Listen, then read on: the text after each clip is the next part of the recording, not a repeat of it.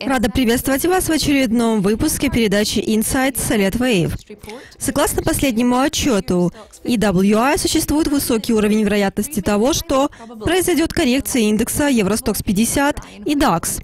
Со мной на линии с деталями по этому вопросу Брайан Витмар. В то время как рыночные аналитики трубят о том, что нужно скупать фонды, даже медведи на рынке говорят, что экономику Германии вскоре ожидает нисходящий тренд. Согласны ли вы с этим утверждением? Нет, я не согласен. Во-первых, потому что мы видим волнообразный паттерн Эллиота в движении DAX. Рассмотрим рынок Германии с 2011 года. Цены пошли буквально по траектории из учебника «Пятиступенчатая волна». Это технический паттерн, теперь должен подтвердить конец ралли. Также ралли замечательно совпадает с параллельным трендовым каналом. Плюс за этот промежуток времени скорость уменьшилась, объем сократился. Так, технические индикаторы на рынке Германии указывают на завершение восходящего восходящего тренда, вовсе не на начало нового бычьего рынка.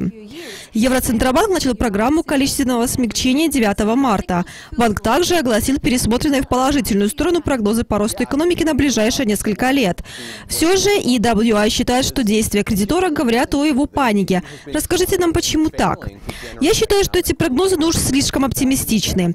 Количественное смягчение – это не что-то новое. ЕЦБ уже предпринимал некоторые попытки простимулировать рост в еврозоне, но они все провалились. С 2007 года они сократили процентные ставки до негативного уровня, предоставили около 50 программ финансовой помощи, предоставили долгосрочные кредиты. Но несмотря на все предпринятые условия, дефляция, которую так старались победить, еще больше увеличивается в Европе. Некоторые аналитики считают, что акции не могут упасть в цене, так как программа КС поддерживает рынок. Я думаю, что все с точностью наоборот. Программа количественного смягчения – это последняя попытка ЭЦБ скорректировать тренд в еврозоне. Когда эта попытка не увенчается успехом, многие инвесторы поймут, что фондовый рынок еврозоны вовсе ничем не подкреплен. А что нам говорит EWI о взаимозависимости между банком и государствами? Как эта взаимосвязь будет проявляться?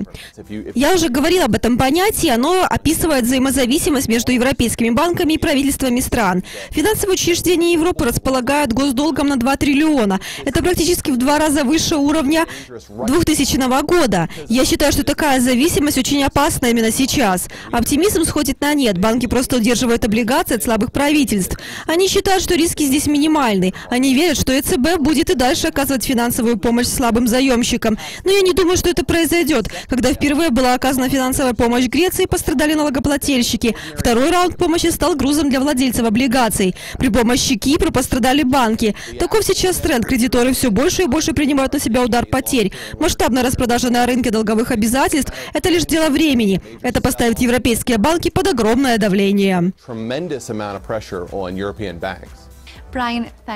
Брайан, спасибо, что были сегодня с нами. Дорогие зрители, на этом наш выпуск подошел к концу. До встречи в апреле.